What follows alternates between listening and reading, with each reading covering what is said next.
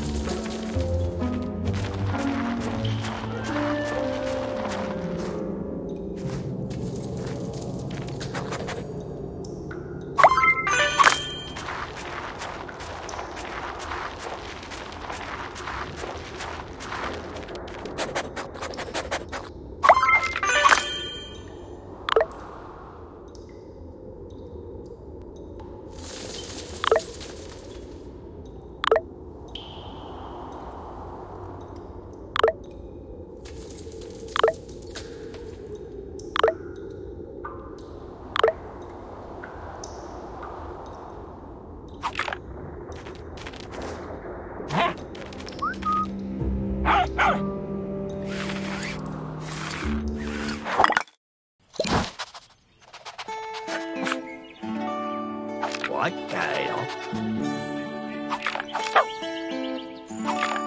A duty and a woman. A weather will be the walking in a woman. Hey.